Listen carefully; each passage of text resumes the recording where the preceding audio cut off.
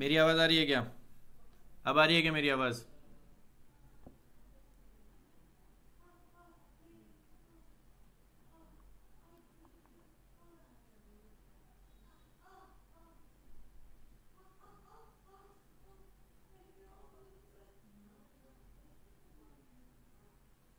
मेरी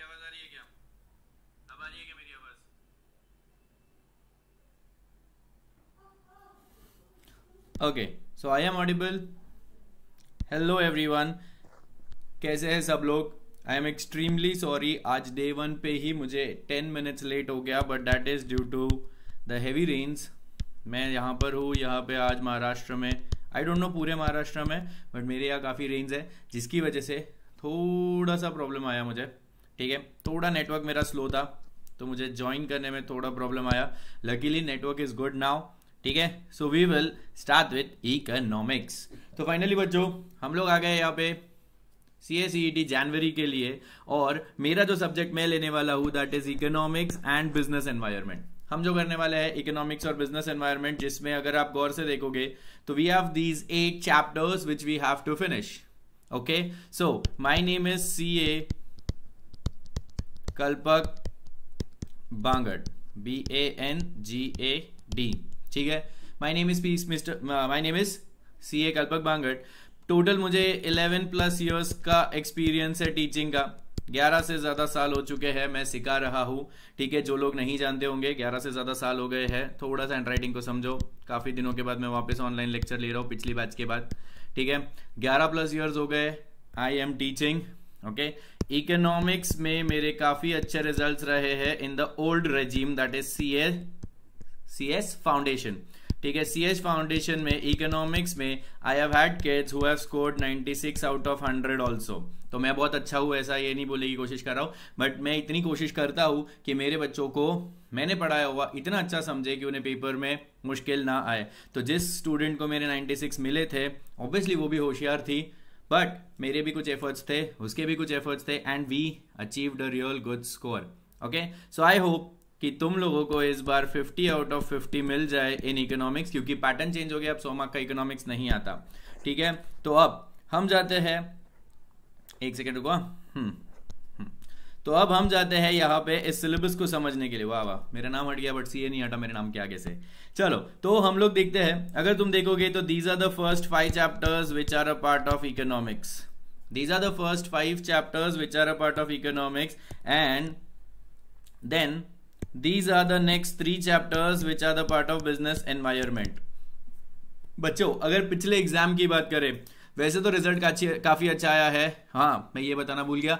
I have been associated with I can for almost four years और ये जो स्टूडेंट जिसको 96 आउट ऑफ़ 100 मिले थे she was my student in I can only okay तो आई कैन की ही स्टूडेंट थी और वहीं पे मैंने उसको सिखाया था। ठीक है? So I have been associated with I can for almost four plus years exact date याद नहीं बच्चों। ये कोविड की वजह से कैलकुलेशंस दिमाग से हट गए हैं ईयर्स के। पिछला डेढ़ दो साल याद ही नहीं है। था कि नहीं था हमारी लाइफ में। Yes yes? सो so, अब अगर पिछले एग्ज़ाम की बात करें जो अभी जस्ट हुई है in the month of November उसमें काफ़ी लोगों को इको e और बीई e में थोड़ी सी दिक्कतें आई थी। आपको एक बात समझना चाहिए बच्चों, ऐसा नहीं है कि हम अच्छा नहीं पढ़ा रहे, आप अच्छा नहीं पढ़ रहे हो बट इकोनॉमिक्स में उन्होंने करंट अफेयर्स वाली कुछ चीज़ें पूछी। सर करंट अफेयर्स वाली चीज़ें मतलब? बेटा, उन्होंने करंट अफेयर्स वाले टॉपिक से उठा के नहीं पूछा। उन्होंने लेटेस्ट इंफॉर्मेशन कुछ पूछ ली इकोनॉमिक्स में। Okay? So, that is what they have been doing. Your cs institute does that and we will be prepared for that also. Okay? तो पाँच चैप्टर्स जो हम लोग इकोनॉमिक्स के पढ़ने वाले पहला है basics of demand and supply forms of market competition बचपन में आप पढ़ चुके हो ये चैप्टर सर बचपन मतलब इलेवेंथ एंड ट्वेल्थ ठीक है? इलेवेंथ और ट्वेल्थ को मैं बचपन ही बोलूँगा, क्योंकि हम तब बचपने में थे। अब हम एक प्रोफेशनल कोर्स में हैं। इलेवेंथ और ट्वेल्थ में हम लोग एक बचपन ऑब्वियसली वो बचपन था कॉलेज के फ़र्स्ट टू इयर्स किंटर की तरह। तो इलेवन ट्वेल्थ जो कि बचपन है आपका, बचपन में आप लोग basics of demand basics of supply पढ़ चुके हो। डिमांड किसे बोला जाएगा? सप्लाई किसे बोला जाएगा? मार्केट्स कितने टाइप के होते हैं? एक्सेट्रा एक्सेट्रा एक्सेट्रा अब हम आ चुके एक प्रोफेशनल कोर्स में। तो कुछ अच्छी बातें भी इसके साथ, ये भी अच्छी बातें थी। इसके साथ कुछ और अच्छी बातें हम लोग सीखने वाले हैं। जैसे व्हाट इज़ नेशनल इनकम देश की इनकम कैसी होती है? कैसे कैलकुलेट होती है? और उससे जुड़े हुए कुछ कंसेप्ट फिर हम देखेंगे देश का बजट कैसे बनाया जाता है। देश का बजट बनाती है हमारी सेंट्रल गवर्नमेंट और वो कैसे बनता है। बजट बहुत सिंपल सी चीज़ होती है बच्चों। Budget is made for the future तो हमारी सेंट्रल गवर्नमेंट आने वाले एक साल के लिए एक बजट बनाती है, जिसमें ये डिसाइड किया जाता है या फिर ये बनाया जाता है कि कितनी इनकम हमें एक्सपेक्टेड है आने वाले साल में, किसको हमें मतलब सेंट्रल गवर्नमेंट को, उसके पार्ट्स क्या क्या होते हैं बजट प्रेजेंट कैसे किया जा, कैसे किया जाता है एक्सेट्रा एक्सेट्रा फिर हम देखेंगे इंडियन फाइनेंशियल मार्केट्स फाइनेंशियल बोलना है बोलो फाइनेंशियल बोलना है बोलो. It's one and the same thing कितना स्टाइल मारना है मार लो. देखो ओरल एग्ज़ाम होने नहीं वाला है. फाइनेंशियल बोलो फाइनेंशियल बोलो. Won't be a big difference so Indian financial markets Indian financial markets ये हमें समझना थोड़ा ज़रूरी है बच्चों, क्योंकि हम सीएस कर रहे हैं. What are we trying to do we are doing company secretary का कोर्स और बच्चों कंपनी सेक्रेटरी का कोर्स अगर हम कर रहे हैं तो इसमें एक चीज़ समझो बच्चों, हमारी ज़रूरत जो है, वो जनरली लिस्टेड कंपनीज़ को ज़्यादा पड़ती है। मैं ये नहीं बोल रहा हूँ कि अनलिस्टेड कंपनीज़ को हमारी ज़रूरत नहीं है। बच्चों, हमारी ज़रूरत लिस्टेड कंपनीज़ को ज़्यादा पड़ती है और लिस्टेड कंपनी स्टॉक मार्केट में लिस्टेड होती है या शेयर मार्केट जिसे हम बोलते हैं। लिस्टेड कंपनीज़ कहा लिस्टेड होती है? स्टॉक मार्केट में। And stock market is also a part of India financial market समझा यहाँ पे? मतलब हम जिन कंपनीज़ में काम करने वाले हैं, वो फाइनेंशियल मार्केट का पार्टिसिपेंट रहेंगे। तो फाइनेंशियल मार्केट समझना ज़रूरी है, ठीक है? सर फाइनेंशियल मार्केट एक छोटा सा छोटा सा एग्जांपल देना चाहता हूँ। बच्चों, अगर मैं वेजिटेबल मार्केट में जाऊँ, अगर मैं वेजिटेबल मार्केट में जाऊँ, पहली बात याद रखो मार्केट हम लोग फ़र्स्ट चैप्टर में पढ़ने वाले हैं। मार्केट वो प्लेस होती है जहाँ पे दो लोग आते हैं। मार्केट वो प्लेस होती है जहाँ पे दो लोग आते हैं, कौन एंड कौन। मार्केट वो प्लेस होती है जहाँ दो तरीके के लोग आते हैं। कौन से दो तरीके के लोग आते हैं बच्चों? मार्केट में एक होता है बायर दूसरा होता है सेलर यस और नो मार्केट है तो बायर और सेलर आएँगे ही। वेजिटेबल मार्केट में seller is selling vegetables buyer is buying those vegetables and giving money yes और नो वेजिटेबल मार्केट नाम में ही लिखा है आपको स्कूल टीचर्स ने बताया होगा बचपन में इज़ दिस अ क्लास और अ फ़िश मार्केट मेरी टीचर तो पूछती थी स्कूल में. हमारे जो टीचर थे हमें हमेशा पूछते थे इज़ दिस अ क्लास और अ फ़िश मार्केट क्योंकि फ़िश मार्केट में अगर आप जाओगे तो ऐसा ही होता है बायर सेलर्स सिर्फ़ चिल्लाते रहते हैं। और वैसे ही शॉपिंग होती है वहाँ पे। सो so, वैसे ही वेजिटेबल मार्केट्स में मिलते हैं वेजिटेबल्स तो फाइनेंशियल मार्केट्स में मिलेगा फाइनेंस फाइनेंशियल मार्केट में क्या मिलता है बच्चों?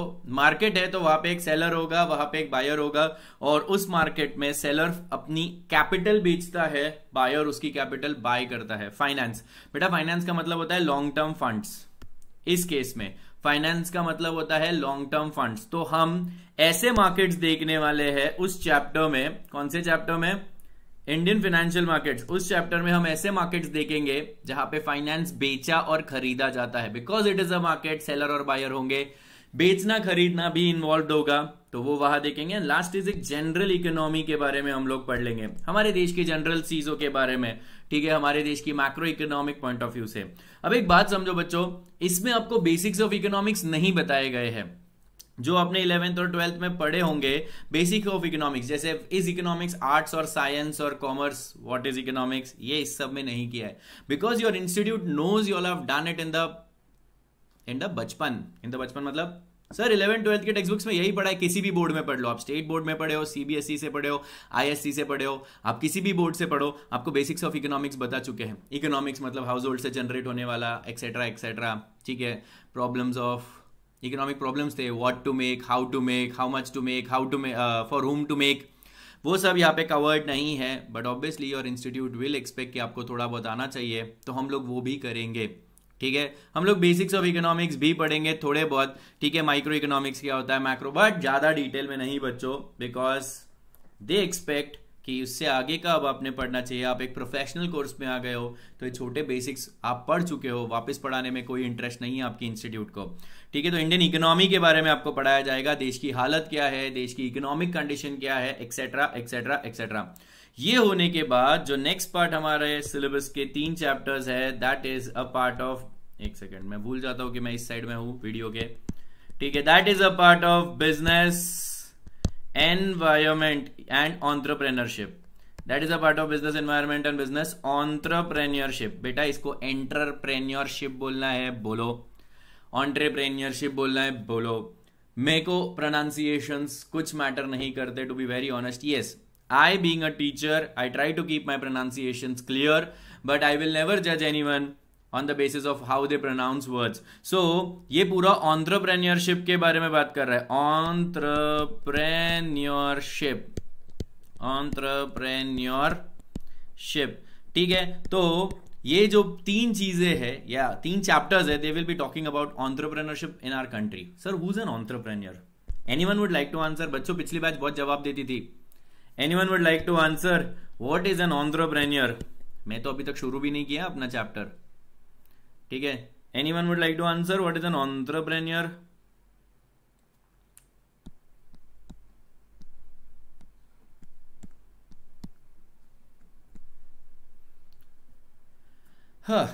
क्या बता हम्म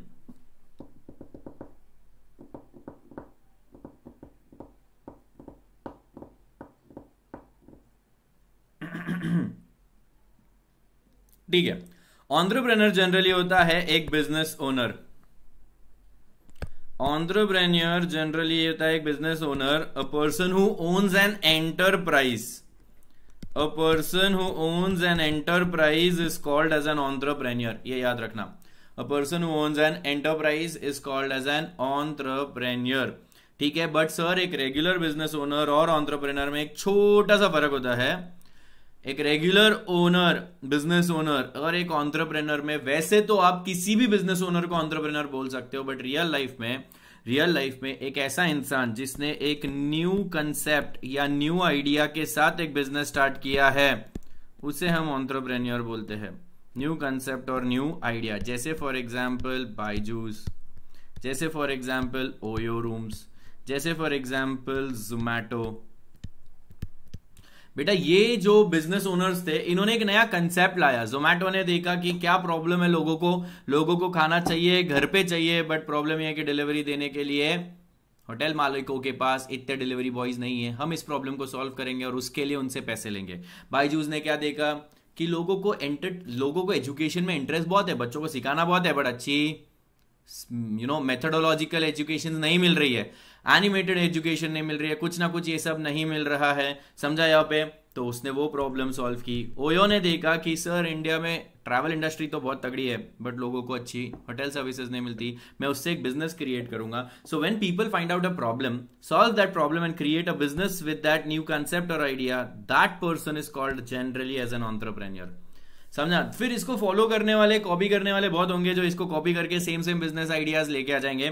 But that is an entrepreneur who start business with some new idea okay जिसने कोई नया आइडिया ढूंढ के एक बिज़नेस स्टार्ट किया इज़ एन ऑन्ट्रप्रेन्योर ओके तो अब हमें उसके बारे में भी पढ़ना है यहाँ पे। हमें तीन चीज़ें देखनी है। हमारे देश में ऑन्ट्रप्रेनरशिप सिनारियो क्या है? Our country is promoting entrepreneurship because ये जो ऑन्टरप्रेन्योर्स है ना बच्चों ये हमारी देश को नई ऊंचाइयों पे लेके जा रहे हैं। समझा यहाँ पे? आज फ़िलहाल फ़िलहाल इंडिया के कुछ जो बड़े बड़े कुछ जो स्टार्टअप्स है, वो यूनिकॉर्न्स हो गए हैं। कुछ जो स्टार्टअप्स है, वो यूनिकॉर्न्स हो गए हैं। यूनिकॉर्न्स मतलब इनके पास बहुत तगड़ी फंडिंग आ गई है। इनको बड़ी बड़ी बिजनेसेस ने इन्वेस्टर्स ने सपोर्ट किया है। तो ये सब ऑन्टरप्रेनर्स ही थे। अब सोचो क्या होता है? एक ऑन्टरप्रेनर एक नई आइडिया के साथ बिज़नेस स्टार्ट करता है। Just take the example of Zomato ठीक है, बच्चों जोमैटो ने कितनी ज़्यादा एम्प्लॉयमेंट जनरेट की है, आप ही सोचो। कितना बिज़नेस डेवलप देखो जोमैटो की वजह से उस होटल वाले का तो फ़ायदा हो ही रहा है, क्योंकि उसके ज़्यादा देखो, अभी उसके पास अगर सौ दस ही टेबल है, सौ लोग बैठ सकते हैं दस टेबल पे तो एक टाइम पे सौ ही लोगों को खिला सकता था बट जोमेटो की वजह से लोग घर से भी ऑर्डर कर रहे हैं तो उसका बेनिफिट हो रहा है इस बिज़नेस ओनर को दैट इज़ होटल ओनर को। एट द सेम टाइम जो डिलीवरी बॉयज़ है उनको भी बेनिफिट क्रिएट हो रहा है जोमेटो की वजह से। कितनी एम्प्लॉयमेंट जनरेट हो रही है, आप ही देखो। पहले एक जमाना था, मैं पुणे में जब देखता था जोमेटो और स्विगी ने पुणे में काफ़ी ज़्यादा काफ़ी ज़्यादा चलता था जोमेटो स्विगी पुणे, मुंबई, सारी बड़ी सिटीज़ में देख चुका था। तो मुझे लगा था छोटी सिटीज़ में काम नहीं आएगा but trust me when I saw Zomato and Swiggy in Aurangabad in Nashik all are in Maharashtra okay अगर आप महाराष्ट्र के बाहर से हो तो आपको शायद ये नाम ना पता हो। बट औरंगाबाद और नासिक में जब मैंने देखा, इन, यहाँ फिर there is one more place Jalgaon बच्चों यहाँ पे तो जोमेटो और स्विगी इतने ज़्यादा, मेरे को लगता था छोटे सिटीज़ में कौन डिलीवर ऑर्डर करेगा। पास में ही होते होटल्स बट यहाँ पे ज़्यादा चलता है जोमेटो और स्विगी समझा? सो ऑन्टरप्रिनरशिप सिनारियो देश में देखेंगे। फिर बिज़नेस करने के लिए कौन सी चीज़ें इंपॉर्टेंट होती है? क्या हम एक बिज़नेस आइसोलेशन में कर सकते हैं क्या? मैं ना, मेरे घर वालों ने मेरे को बोला, कल्पक, जा कोई धंधा कर। मैंने सौ मैगी के पैकेट खरीदे। मैंने सौ मैगी के पैकेट खरीदे, ठीक है, मस्त, मैं गया एक माउंटेन के ऊपर, ठीक है माउंटेन के ऊपर एक स्टूल पे मैंने एक छोटा सा ठेला लगाया।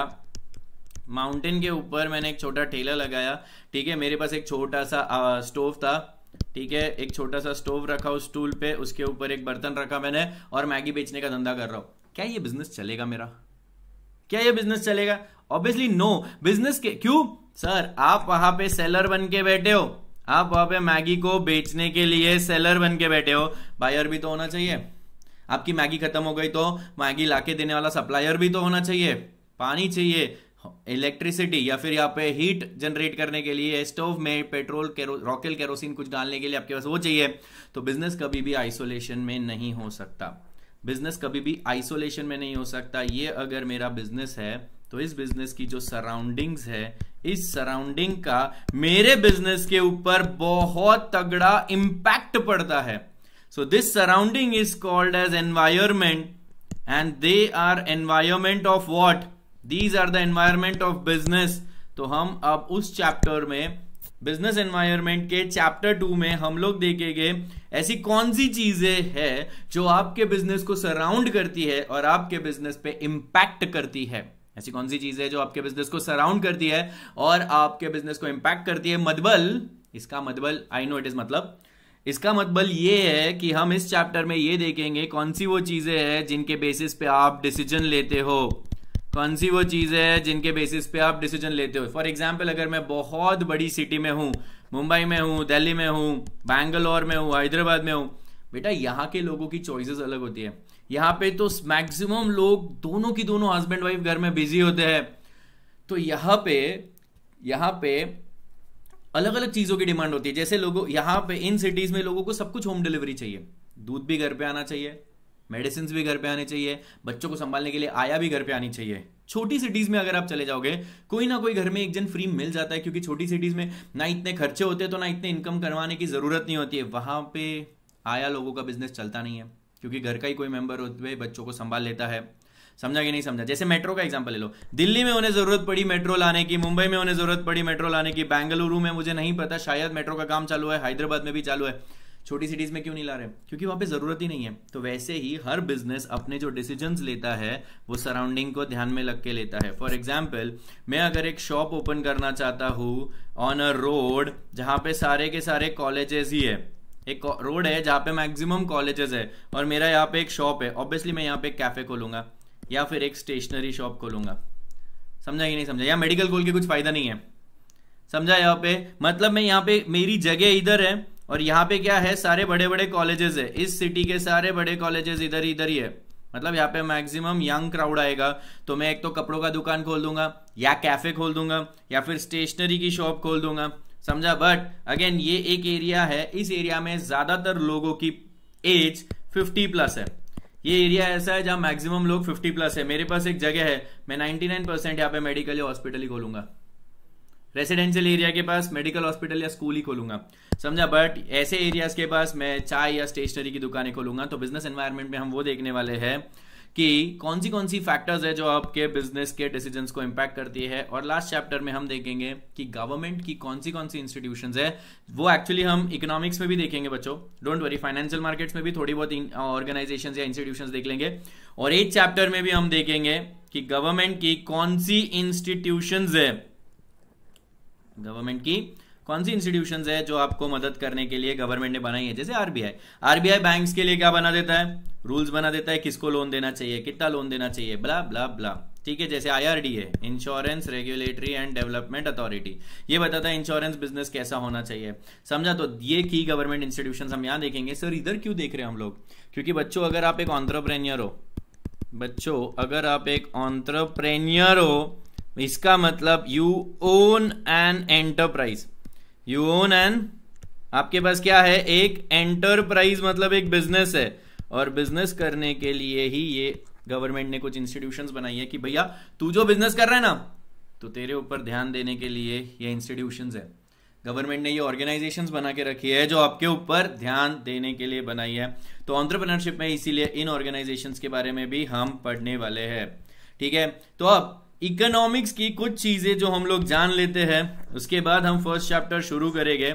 Let us talk a few things about economics first, and then we will move to our first chapter, that is basics of demand, supply, forms of market सबसे पहले आपको पता है कि इकोनॉमिक्स बहुत बचकानी और बेसिक चीज़ें बता रहा हूँ। ये बता के मैं कुछ महान बनने की कोशिश नहीं कर रहा हूँ एक रिकैप ले रहा हूँ। आई होप आपको ये सब याद होगा।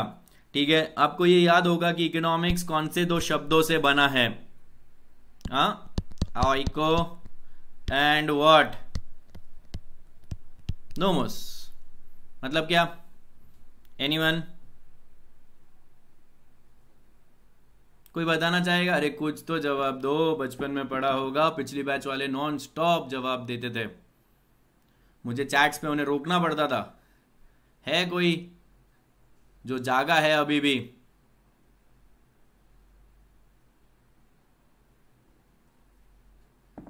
अरे कुछ तो जवाब दो, गाँव वालों। मेरी अब बहुत तेज बारिश हो रही है वैसे।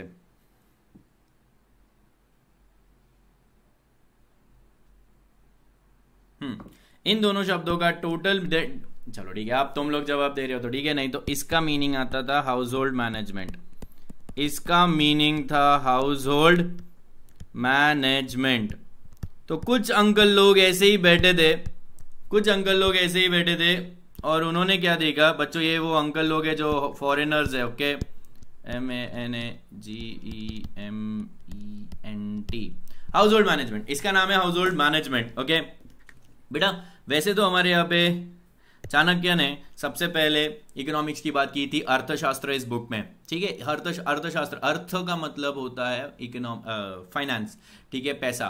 ठीक है? तो हाउस होल्ड मैनेजमेंट कुछ अंकल लोगों ने बैठे बैठे देखा। एक घर था, उस घर में एक आंटी थी।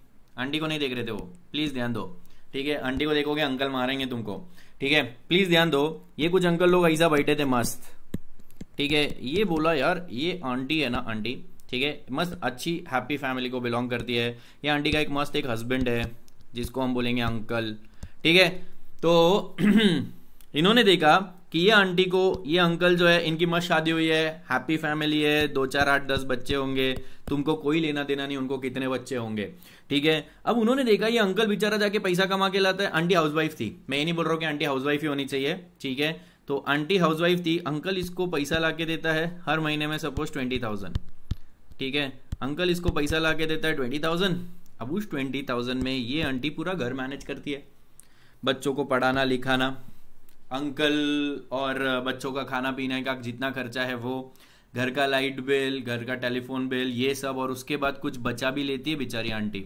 ठीक है? मस्त तीन हज़ार रुपये बेचारी बचा भी रही है, सत्रह हज़ार रुपये खर्चा कर रही है। ऐसा नहीं कि उसका खर्चा सिर्फ़ सत्रह हज़ार है। ठीक है? ये अंकल लोग बैठे बैठे आंटी को देख रहे थे और क्या देखा उन्होंने? कि ये आंटी को जो बीस हज़ार मिलते हैं, इसके बहुत खर्चे हैं। अगर आंटी को पूछा जाए कि, आंटी, आपको अगर पूरा खर्चा करना है, जितना भी बिना मन मारे तो आपको कितने पैसे चाहिए? आंटी ने बोला, मुझे हर महीने वन लाख रुपीज़ चाहिए। अगर वन लाख आएँगे ना तो मेरे घर में मेरे जितने खर्चे ना, सब हो जाएँगे। मेरे को हर महीने शॉपिंग करने मिलेगा, मेरे बच्चों के लिए शॉपिंग करने मिलेगा, मेरे पति के लिए शॉपिंग करने मिलेगा, हमें कार अफोर्ड कर पाएँगे, ये कर पाएँगे, वो कर पाएँगे। मैंने बोला, आंटी बट आपको तो मिलते बीस हज़ार ही है। आपको जब बीस हज़ार मिलते तो आप कैसे मैनेज करते हो? तो तो तो वो अंकल लोगों ने आंटी को बोला सॉरी आंटी ने अंकल लोगों को बोला कि देखो सर, मेरे को मिलते हैं बीस हज़ार। ये है मेरी रिसोर्स मेरे को मिलते हैं बीस हज़ार जो कि है मेरी रिसोर्स और सर, इस रिसोर्स का एक दुखना है, एक प्रॉब्लम है इस रिसोर्स की। अंकल लोगों ने बोला, दीदी, क्या प्रॉब्लम है? ये रिसोर्स जो है अंकल, वो लिमिटेड है। ये रिसोर्स जो है, वो लिमिटेड है। और और और उसके जो खर्चे हैं, ठीक है? इस रिसोर्स के जो यूजेस है इस रिसोर्स के यूजेस क्या है? बहुत कुछ। फ़ूड पे खर्चा करना पड़ता है हाउस पे खर्चा करना पड़ता है एजुकेशन पे खर्चा करना पड़ता है हेल्थ पे खर्चा करना पड़ता है। इसके अलावा सर कभी कभी ना समाज में जाना पड़ता है। किसी के घर पे बर्थडे बर्थडे होगा शादी वादी होगी तो सोशल एक्टिविटीज़ पे भी हमको खर्चा करना पड़ता है। हमें बहुत सारे खर्चे करने पड़ते हैं। तो सर ये जो रिसोर्स है, बीस हज़ार रुपए, इसके अनलिमिटेड यूजेस है। या फिर अनलिमिटेड से ज़्यादा। सर मेनी यूजेस है मेनी रिसोर्स है लिमिटेड यूजेस है मेनी तो अब आंटी बोली कि देखो सर इसमें से मुझे प्रायोरिटाइज करना पड़ता है। नीड टू चूज़ कि पहला मैं इस पे खर्चा करूँगी। मैं खर्चा इस पे करूँगी, इस पे करूँगी, इस पे करूँगी, इस पे करूँगी। उसके बाद बचा, और ज़रूरत रही तो इस पे करूँगी। बच गया बट ज़रूरत नहीं तो करूँगी भी नहीं। समझा यहाँ पे? तो अंकल लोगों ने बोला, अरे यार हमारा तो खुद की बीवी को ध्यान नहीं दिया इन्होंने यार ये अंकल लोगों ने खुद की बीवी पे ध्यान नहीं दिया कि खुद की बीवी कैसे मैनेज कर रही है। कौन सा ये अंकल करोड़ों ला के दे रहे थे आंटियों को, अपनी बीवियों को? ये अंकल लोगों ने हाउस होल्ड के अंदर झाक के देखा लोगों के, वहाँ पे देखा कि हर एक हाउस होल्ड में मैनेज किया जाता है रिसोर्सेस को। हर एक हाउस होल्ड क्या करता है? लिमिटेड रिसोर्स को मैनी या अनलिमिटेड वॉन्ट्स या यूजेस में कैसे यूज़ करते हैं, उसका स्टडी वॉज़ इकोनॉमिक्स वहाँ से शुरू हुआ। हेलो अतुल मैं बहुत बढ़िया हूँ। अच्छा लगा तुम्हें देख के बच्चों। दिस इज़ अतुल पिछले बैच का है। बहुत ज़्यादा आंसर्स देता था ये भी। तुम लोग भी दे सकते हो। हम लोग एकदम चिल्ड है। ठीक है? मैं कोई टिपिकल तुम्हारा मास्टर जी नहीं हूँ। सो यू कैन आंसर तो दिस वॉज़ इकोनॉमिक्स अंकल लोगों ने अपने घर को छोड़ के दूसरे आंटी के घर में जाके देखा कि आंटी किस तरह से मैनेज कर रही है इस घर को। और मैनेज करने के लिए आपको चाहिए रिसोर्सेज जो कि होते हैं लिमिटेड इसके यूजेस जो कि होते हैं अनलिमिटेड मंजे मैनी और इसको, इस मैनेजमेंट से अंकल लोगों को क्या समझा? इस मैनेजमेंट से अंकल लोगों को इकोनॉमिक्स समझा। तो शुरुआत हुई थी माइक्रो इकोनॉमिक्स के साथ। माइक्रो मतलब क्या? अंकल लोगों ने एक एक एक एक घर में कैसे मैनेज होता है? एक पर्टिकुलर फैमिली कैसे चूज़ करती है कि अपने रिसोर्सेज को कैसा इस्तेमाल करे? ठीक है? ओके हाँ। एक पर्टिकुलर बिज़नेस एक पर्टिकुलर बिज़नेस कैसे चूज़ करता है कि उसके रिसोर्सेस कहाँ इन्वेस्ट करने चाहिए? ऑल दैट वाज इकोनॉमिक्स अगर आप एक अंकल या एक आंटी को पूछोगे कि तुम कैसे चूज़ करते हो कि तुम्हारे पास अगर सौ रुपए तो उसमें से चॉकलेट खरीदनी चाहिए? चॉकलेट हाँ? इसमें से चॉकलेट खरीदनी चाहिए या उसमें से किताबें खरीदनी चाहिए? That is when you will ask him you are asking only one person अब दो लोग हैं ए और बी ए को पूछा तेरे पास सौ रुपए बी को पूछा तेरे पास सौ रुपए. ओके ठीक है, तू क्या करेगा इस सौ रुपए का? तू क्या करेगी सौ रुपए का?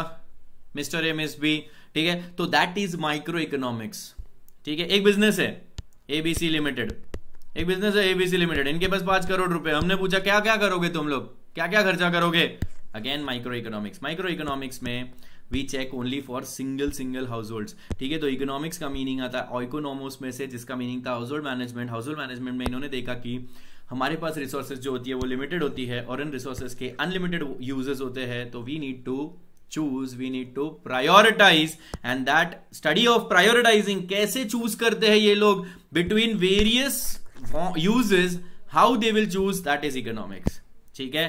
तो वो था माइक्रो और और और, हमारा जो फ़र्स्ट चैप्टर है basis of demand and supply ये भी है माइक्रो का ही पार्ट इसमें हम देखेंगे वन सिंगल बायर कैसे डिसाइड करता है? वन सिंगल बायर कैसे डिसाइड करता है कितने गुड्स खरीदने चाहिए? वन सिंगल सेलर कैसे डिसाइड करता है कि कितने गुड्स सेल करने चाहिए? ये डिसाइड कैसे करता है कि बाय कैसे करना चाहिए? अरे रुको, भाई साहब हाँ नया लैपटॉप ऐसा मत करो। और ये डिसाइड करता है कि सेल कितना करना चाहिए। So it is a part of microeconomics हमारा फ़र्स्ट चैप्टर माइक्रो का पार्ट है। फिर फाइनेंशियल मार्केट की बात करेंगे, बाकी के चैप्टर्स की बात करेंगे they are a part of macroeconomics ठीक है? ठीक है नेशनल इनकम में नेशनल इनकम फिर सेकंड चैप्टर नेशनल इनकम में डायरेक्टली जंप किया इन्होंने मैक्रो इकोनॉमिक्स पे। सर मैक्रो इकोनॉमिक्स मतलब क्या? जैसे ये चैप्टर ये चैप्टर है नेशनल इनकम इसमें हम कैलकुलेट करेंगे कि हमारे देश के सभी लोगों ने मिलकर कितना पैसा कमाया। तो जहाँ पे हम वन सिंगल वन सिंगल की बात नहीं कर रहे हैं। हम होल की बात कर रहे हैं। पूरे देश ने मिलकर कितना पैसा कमाया। That is our macroeconomics union budget is a part of macroeconomics पूरे देश के लिए बजट बनाया जाता है। Financial market is a part of macroeconomics और Indian economy is also part of macroeconomics ठीक है? तो ये था एक बेसिक कि इकोनॉमिक्स में basically economics is nothing about but about choosing choosing economics is about choosing macro में सॉरी माइक्रो में माइक्रो में economics is about choosing macro में economics is about understanding what is going on in the country as a whole बेटा, ये जो macro economics है macro ठीक है? Macro is about understanding what is going on in the country what is going on in the country as a whole और फिर देश के जो बड़े बड़े प्रॉब्लम्स है हाउ टू सॉल्व देम जैसे अनएम्प्लॉयमेंट अब अनएम्प्लॉयमेंट एक एक जन का सॉल्व नहीं होगा बच्चों। हम देखेंगे पूरे देश में कितनी अनएम्प्लॉयमेंट है। सपोज़ हमारे देश में टेन परसेंट एम्प्लॉयमेंट है मतलब हर सौ में से दस लोग अनएम्प्लॉयड है। तो अब इस प्रॉब्लम को एक एक को पूछा नहीं जाएगा तू अनएम्प्लॉयड है क्या? चल तेरे को जॉब देता हूँ। नहीं this is not a part of micro this is a part of macro ठीक है, फिर illiteracy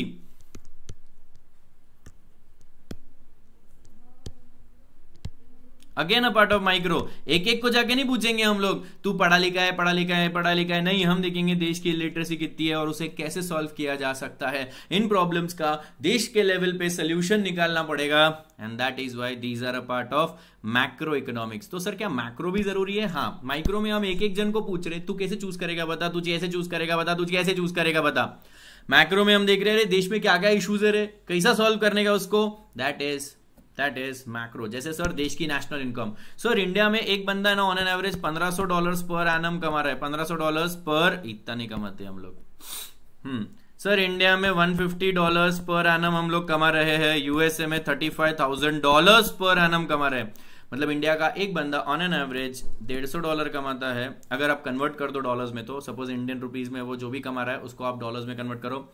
वही यूएसए का एक बंदा सर इतना कमा रहा है तो सर प्रॉब्लम तो है ना। यूएसए का एक बंदे के पास ज़्यादा इनकम है तो ऑन एन एवरेज है बच्चों एक्जैक्टली इतना नहीं कमा रहे बट सर यूएस के बंदे ज़्यादा कमा रहे ऑन एन एवरेज तो सर ये प्रॉब्लम है हमारे देश में, इसे कैसे तो भी सॉल्व करना पड़ेगा। तो macro economics is about understanding the whole economy finding out the issues finding out the problems in those economies and trying to solve them ठीक है तो एक ही चैप्टर इसमें माइक्रो का पार्ट है बच्चों, क्योंकि एक एक बायर एक एक सेलर के बारे में पढ़ेंगे या एक एक मार्केट के बारे में पढ़ेंगे हम लोग कि एक टाइप के मार्केट में कैसा होता है। जब एक टाइप का ही ले रहे हो आप तो it is a part of micro पूरा की पूरा देश का एक साथ ले रहे हो तो it is a part of macro macro क्यों पढ़ना है? देश की हालत समझने के लिए। अगर हमारी इकोनॉमिक हालत अच्छी है तो हमारी देश की हालत भी अच्छी है। सर इकोनॉमिक हालत अच्छी है मतलब देश के फाइनेंशियल हालत अच्छी है। देश में पैसा अच्छा खासा है, देश के लोग अच्छा कमा रहे हैं, देश में लिटरेसी की प्रॉब्लम नहीं है, इसीलिए मैक्रो पढ़ना है। बेटा, हम भी किसी को जज करते हैं जनरली तो हम उसकी फाइनेंशियल स्टेटस को देखते हैं। वैसे करना नहीं चाहिए बट अगर दो लोग हैं ए और बी ए है बिलियनर चलो बिलियनर बहुत बड़ी बात हो गई। ए मिलियनर है, करोड़पति है। ठीक है ए मिलियनर है बेचारा, और बी एक नॉर्मल छोटा सा कॉमन मैन है, एकदम नॉर्मल मैन है। ठीक है, जैसे कि एग्जांपल ले लेते हैं, कोई भी फ़ेमस क्रिकेटर मैं नाम नहीं लेता, क्योंकि अपन यूट्यूब पे है, किसी का नाम नहीं लेना चाहिए बट अगर कोई फ़ेमस क्रिकेटर है बच्चों, ठीक है तो उसको देख के आपको बहुत भारी लगता है, अरे ये फ़ेमस क्रिकेटर है। यस और नो तो आपको उसकी लाइफस्टाइल बहुत अच्छी लगने लगती है because he has a lot of money you think he is successful because he has a lot of money और एक नॉर्मल मैन है बेचारा उसके पास एक सिंपल सी, छोटी सी टू व्हीलर है। सर बंदा बहुत अच्छा है बट बट ठीक ही लगता है हमें हमें कोई ग्रेट नहीं लगेगा वो। तो जनरली हम ह्यूमन बींग्स ने ही एक चीज़ इन्वेंट की है। हम ह्यूमन बींग्स ने ही एक चीज़ इन्वेंट की है, पैसा। और इस पैसे के बेसिस पे ही हम देखते हैं कि कौन कितना डेवलप्ड है और कौन नहीं। जिसके पास बहुत पैसा है, हम बोलते हैं, यार, इसका लाइफ बहुत मस्त है। मतलब ही डेवलप्ड तो वैसे ही ये है कंट्री ए ये है कंट्री बी अगर पूरे कंट्री ए का टोटल इनकम निकालो और आपको दिख रहा है पाँच हज़ार करोड़, पूरे कंट्री बी का टोटल इनकम निकालो और आपको दिख रहा है पाँच सौ करोड़, आप सीधा सीधा बोलोगे, सर कंट्री ए अच्छी है, बस खत्म। More developed because they have more money so sir यहाँ पे पूरी कंट्री की सबकी इनकम मिला के लिए this is a part of macro तो कौन सा देश ज़्यादा डेवलप्ड है कौन सा नहीं? ये मैक्रो इकोनॉमिक से पता चलता है। फिर इनको पता चला रहे यार अपन तो बहुत गरीब है। फिर ये लोग कुछ स्टेप्स उठाएँगे देश के लोगों की हालत सुधारने के लिए और देश के लोगों की हालत सुधारेंगे। ठीक है? सो so, अब तक हमने क्या क्या देखा? व्हाट इज़ माई इकोनॉमिक्स ये देख लिया। इकोनॉमिक्स में हम हमारे रिसोर्सेस का इस्तेमाल करते हैं। चूज़ करते हैं उनमें से सॉरी रिसोर्सेज का इस्तेमाल करते हैं जो कि लिमिटेड होती है, और कौन सी नीड्स को फुलफिल करना है, इसका हमें चूज़ करना पड़ता है। फिर हम लोगों ने देखा मैक्रो भी होता है, ठीक है? अब एक और इंपॉर्टेंट चीज़ जो आपको जनरली सिखाई जाती है बट सिखानी यहाँ पे ज़रूरी नहीं है इकोनॉमिक्स है क्या? क्या इकोनॉमिक्स साइंस है? क्या इकोनॉमिक्स आर्ट्स है? या क्या इकोनॉमिक्स कॉमर्स है? तो सबसे पहली बात, एक बात समझ लो इकोनॉमिक्स कॉमर्स नहीं है। पढ़ते आप कॉमर्स में, हो? साइंस में इकोनॉमिक्स से सब्जेक्ट ही नहीं है। साइंस में इकोनॉमिक्स से सब्जेक्ट नहीं है। आर्ट्स में इकोनॉमिक्स सबसे इंपॉर्टेंट सब्जेक्ट है। बच्चों, अगर आपको इकोनॉमिक्स की डिग्री चाहिए ना तो आपको बैचलर ऑफ़ आर्ट्स की डिग्री मिलती है। आपको इकोनॉमिक्स में डिग्री आर्ट्स में ही मिलेगी। Because economics is an arts economics is a science also ठीक है? Economics is an arts economics is a science बेटा, थोड़ी बहुत साइंस अगर आपको याद होगी तो साइंस क्या होता है? साइंस में किसी भी चीज़ को हम प्रूव करते हैं। प्रूव करने के पहले उसके बारे में हम स्टडी करते हैं। स्टडी करने के बाद हम एक एक्सपेरिमेंट करते हैं कि ये चीज़ को गर्म किया तो ऐसा होगा, ठंडा किया तो वैसा होगा। उस एक्सपेरिमेंट के एंड पे हमें कुछ रिजल्ट्स मिलते हैं। इन रिजल्ट्स को देख के हमें कुछ कंक्लूजन्स पता चलते हैं। उन एक्सपेरिमेंट्स को देख के हम कंक्लूजन पता चलते सर मैंने इलेवेंथ ट्वेल्थ में साइंस करी थी। मैंने भी। ध्रुव बेटा, मेरा भी ट्वेल्थ तक साइंस था। मैंने सीपीटी जो दी थी सीए की, वो सेल्फ स्टडी पे दी थी। ठीक है? और मैं फ़र्स्ट अटेम्प पास हो गया था। मैं बहुत भारी नहीं हूँ बट ये बोल रहा हूँ कि अच्छे से पढ़ो तो सब आसान होता है। ठीक है? मेरा भी ट्वेल्थ साइंस था। ट्वेल्थ तक साइंस था because I did not know what I wanted to do in my future eleventh पे नहीं पता था मुझे तो मैंने ट्वेल्थ साइंस लिया बेस्ट पार्ट ठीक है? तो अब ध्यान दो, बेटा साइंस में क्या करते हैं? जैसे वाटर हमने पानी लिया, पानी को गर्म करके देखा। गर्म करके देखा तो यार पानी बचा ही नहीं। पानी बचा नहीं तो हमें कंक्लूजन मिला कि पानी को गर्म किया तो स्टीम बढ़ के उड़ जाता है।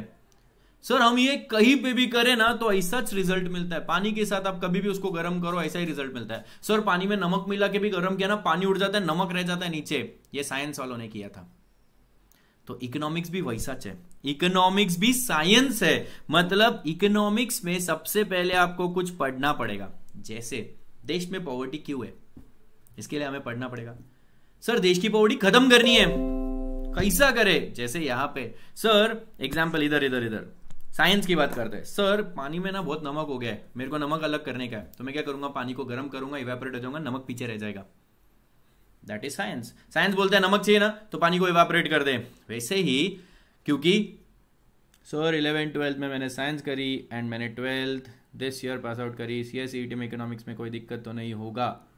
यस यस यस मैं पढ़ा दूँगा बेसिक्स डोंट वरी हम एंड में एक लेक्चर बेसिक्स का ले लेंगे। It is not a big deal बेटा, अब तक जितना पढ़ा है ना इकोनॉमिक्स पे बेसिक्स पे, इतना ज़रूरी था। डिमांड सप्लाई हम एकदम डिटेल में पढ़ेंगे। उतना एक ही चैप्टर तुम्हारे काम का है, और उसमें दूसरा इंपॉर्टेंट चैप्टर होता है मार्केट वो भी है। तो ठीक है माइक्रो का वो पार्ट है मैक्रो तो डरो ही मत। मैक्रो किसी ने इलेवेंथ में ट्वेल्थ में पढ़ा भी ना, उसको भी याद नहीं होगा। है कि नहीं बच्चों?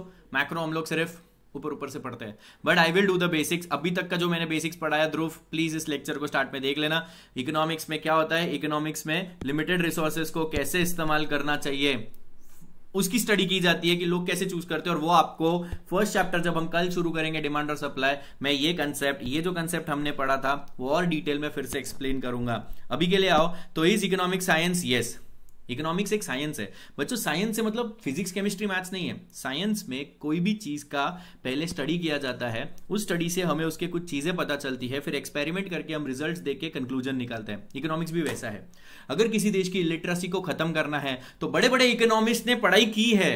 बड़े बड़े इकोनॉमिस्ट ने मैंने तो स्किप किया था मैक्रो मैं बोल रहा हूँ, बेटा, ध्रुव डोंट वरी माइक्रो थोड़ा सा इंपॉर्टेंट है जो मैं यहाँ पे डिटेल में सिखाऊँगा। मैक्रो सबके लिए नया है। Everyone even if you done eleven twelve ninety nine percent लोगों के लिए मैक्रो नया होगा यहाँ पे। ओके एवेंजर ठीक है? And okay Dhruv? ठीक है now coming back to this point हाँ तो क्या इकोनॉमिक साइंस है? हाँ क्योंकि इकोनॉमिक्स में स्टडी करने के बाद प्रॉब्लम्स को सॉल्व करने के स्टेप्स होते हैं। इलिटरेसी को खत्म करना है। तो सबको फ्री बुक्स बांट दो, ऐसा नहीं होता। पॉवर्टी को खत्म करना है तो सबको पैसे बांट दो, ऐसा नहीं होता। क्यों नहीं होता, हम देखेंगे आगे जाके। अगर फ्री में गवर्नमेंट पैसा बांट देगी ना तो हाइपर इन्फ्लेशन हो जाएगा। हाइपर इन्फ्लेशन मतलब क्या? अगर गवर्नमेंट आरबीआई में आरबीआई बोलता है नोट अपन छापते रहेंगे छापते रहेंगे। आरबीआई दो दो हज़ार के नोट छाप के सबको बांट रहे हैं। आपके अकाउंट में आ गए दस लाख रुपए। आरबीआई ने बहुत सारे नोट छाप दिए, सबके अकाउंट में दस दस लाख डाल दिए। आपके अकाउंट में आ गए दस लाख। क्या करोगे आप? जैसे ही आपके पास दस लाख रुपए आ गए आप बोलोगे, सर, मुझे तो आईफोन खरीदना है। अब प्रॉब्लम समझो बच्चों प्रॉब्लम समझो, आपके पास दस लाख रुपए आ गए, आपको आईफोन खरीदना है, मेरे भी पास दस लाख आ गए, मेरे को भी आईफोन खरीदना है। ऐसे पचास लाख लोगों को आईफोन खरीदने का है। आईफोन वालों ने बोला सोलह मेरे पास स्टॉक तो एक ही लाख का पड़ा है। आईफोन वालों के पास आज के आज स्टॉक कितना है? एक लाख का। एक लाख ही यूनिट्स पड़े उनके पास। उनके पास कितने आईफोन्स पड़े? एक लाख। मांगने वाले कितने आ गए? पचास लाख। अब सबके पास फोकट में दस दस लाख रुपए आ गए। मैं बोलूँगा, अरे सर, मेरे को दो ना आईफोन एक लाख है ना, दो लाख ले लो यार। तुम जाके बोलोगे, अरे चार लाख ले लो। आईफोन की प्राइसेस बढ़ने लग जाएगी क्योंकि फोकट में पैसा मिला है। जब भी पैसा फोकट मिलता है, उसकी वैल्यू गिर जाती है। इसीलिए पॉवर्टी को खत्म करने का ये तरीका नहीं कि पैसे छाप के लोगों को दे दो। ये इकोनॉमिक्स ने पढ़ा। इकोनॉमिक्स एक साइंस है। इकोनॉमिक्स में स्टडी की जाती है। हम बहुत सारी थियोरीज देखेंगे, कुछ लॉज देखेंगे, ठीक है? उन लॉज को स्टडी करके उन लॉज को स्टडी किया, किसने, कुछ इकोनॉमिस्ट्स ने, और फिर कुछ थियोरीज डेवलप की कि अगर आप ऐसा करोगे तो ऐसा होगा, जैसे डिमांड और सप्लाई भी जो हम कल देखेंगे। प्लस इकोनॉमिक्स एक आर्ट्स है। आर्ट्स का मतलब क्या? बेटा, मैं तुमको एंटरटेन करना चाहता हूँ। ध्यान दो इधर। मैं तुमको करना चाहता हूँ एंटरटेन कुछ लोग गा के तुम्हें एंटरटेन करेंगे, कुछ लोग डांस करके एंटरटेन करेंगे, कुछ लोग जोक सुना के। So it is an art art मतलब क्या? अल्टीमेट गोल को कैसे अचीव करना है? हर एक का अपना तरीका है। Economics is an art economics में बोला है पॉवर्टी को खत्म करने के लिए अलग अलग ऑप्शंस है। आप कौन सा ऑप्शन कैसे चूज़ करोगे, वो आपका आर्ट है।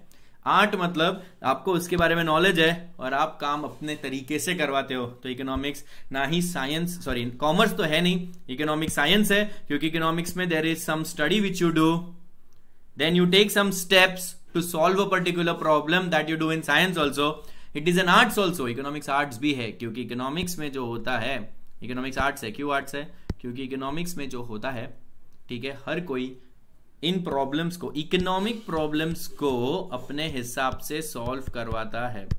ठीक है? ओके तो आज के लिए मैंने अभी इतना ही। कल हम एक इंपॉर्टेंट चैप्टर शुरू करेंगे that is basics of demand and supply कुछ लोगों के कुछ डाउट सर स्टडी मटेरियल में या मॉड्यूल में प्रिंट करवा लू। यस yes, अगर आपको चाहिए प्रिंट करवा के तो करवा लो।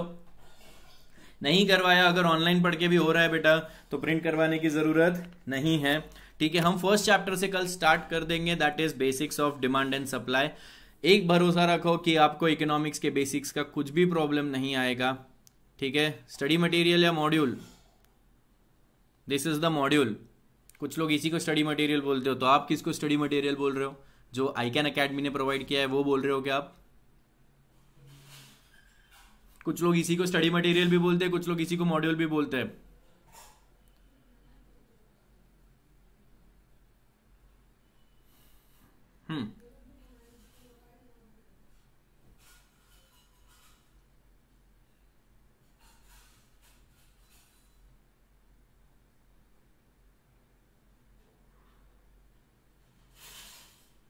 बेटा, एक काम करो, तुम आई कैन के ग्रुप पे हो क्या? क्या तुम आई कैन के व्हाट्सएप अर्जुन बैच वाली ग्रुप पे हो क्या?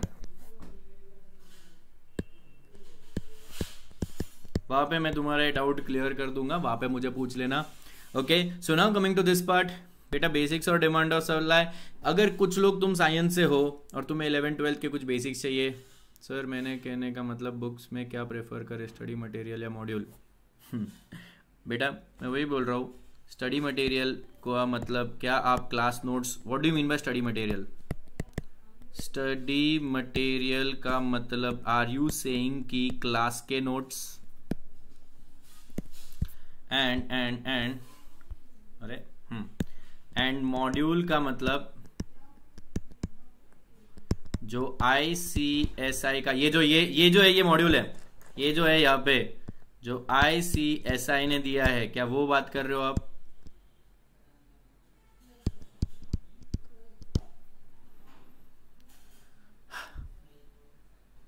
हेलो शिवा मैं बस बढ़िया हूँ। तुम कैसे हो बेटा? ध्रुव, तुम इस काम करो। अगर तुम आईकैन के ग्रुप पे हो तो वहाँ पे, नहीं तो अभी पूछ लो बेटा। क्योंकि कुछ, क्योंकि ये दोनों चीज़ें सेम ही होती है। दिस इज़ द मॉड्यूल ये जो मैंने खोल के रखा है यहाँ पे, ये एक मॉड्यूल है बेटा जो आईसीएसआई की वेबसाइट से मैंने डाउनलोड किया है। आईसीएसआई सर मतलब कि आप कुछ प्रोवाइड करो। हाँ हम करेंगे। हम आपको प्रोवाइड करेंगे बट ट्राई एंड अंडरस्टैंड मेरा जो हाँ तो स्टडी मटेरियल का मतलब तुम्हारा बोलना है क्लास के नोट्स जो आई कैन अकेडमी प्रोवाइड करेगी। आई कैन अकेडमी जो नोट्स प्रोवाइड करेगी, वो पूरी तरह से इसी पे बेस्ड है। मेरी तो भी। मेरी इकोनॉमिक्स की नोट्स काफ़ी ज़्यादा हद तक इसी पे बेस्ड है। इसी में से पढ़ना है हमको। ये हमारा बाइबल है। इसको बोलते हैं मॉड्यूल और ये हमारा बाइबल है तो मेरे नोट्स इसी के ऊपर। बेटा तो अर्जुन बैच में नहीं हो, ठीक है, चलो यहाँ पे क्लियर कर देता हूँ मैं, तुम्हें बेटा ग्रुप की लिंक चाहिए तो मिल जाएगी। आई कैन वालों को फ़ोन भी कर दो आप तो ग्रुप की लिंक मिल जाएगी ग्रुप ज्वाइन कर लो, सारे लेटेस्ट अपडेट्स उस बैच में उसमें भी आ रहे हैं। तो बेटा, मैं जो नोट्स प्रोवाइड करूँगा, इसी पे बेस्ड होंगे। जनरली सीक्वेंस भी यही होता है, इसी को थोड़ा कट शॉर्ट करके मैंने नोट्स बनाए हैं। बट मैं पढ़ाने वाला हूँ इस पे से तो इसमें से भी पढ़ा तो भी मोर देन सफिशियंट है। Thank you Shiva thank you अभी तक तो मैंने सिखाना शुरू भी नहीं किया तुम्हारी बैच को। एंड स्टिल तुम मुझे अप्रिशिएट कर रहे हो। थैंक यू वेरी मच कल हम जब सिखाना शुरू करेंगे, हम कुछ बहुत बढ़िया एग्जाम्पल्स लेंगे। ट्रस्ट में आपको बिल्कुल नहीं लगेगा, आप पढ़ रहे हो। ठीक है? हम अच्छे अच्छे एग्जाम्पल्स लेंगे, बहुत ही मस्त वाले एग्जाम्पल्स लेंगे, और हम लोग यहाँ से आगे बढ़ेंगे। कल हमारा फ़र्स्ट चैप्टर शुरू हो जाएगा। Basics of demand and supply बहुत बेसिक्स से सिखाऊँगा मैं। ठीक है, जिनका साइंस है, जिनका कॉमर्स है इलेवन ट्वेल्थ कुछ फ़र्क नहीं पड़ेगा। Okay so thank you very much all of you see you tomorrow we are starting this first chapter tomorrow आज मैंने कुछ बेसिक्स दिए हैं। इसको मैराथन बैच मत समझो। एक बात समझो बच्चों। ये मैराथन बैच नहीं है, मैं हर एक लाइन डिटेल में पढ़ा के आगे बढ़ने वाला हूँ। एक एक एक एक एक एक लाइन हम लोग डिस्कस करके आगे बढ़ेंगे इस मॉड्यूल से। इंपॉर्टेंट जो होगा वो मार्क करवा दूँगा। तो अगर आपको हार्ड कॉपी चाहिए तो निकलवा लेना, मैं इंपॉर्टेंट मार्क करवा के दे दूँगा। ओके बाय बाय आदियोस टाड़ा अलविदा। बाय बोलो बच्चों बाय सर तुम्हारे बाय बोल रहे तुमको। सी एस एग्जीक्यूटिव की तैयारी कर रहा हूँ। तीरथ ग्रेट तीरथ। क्या आया तुम्हारा रिज़ल्ट बेटा? सी एस टी का।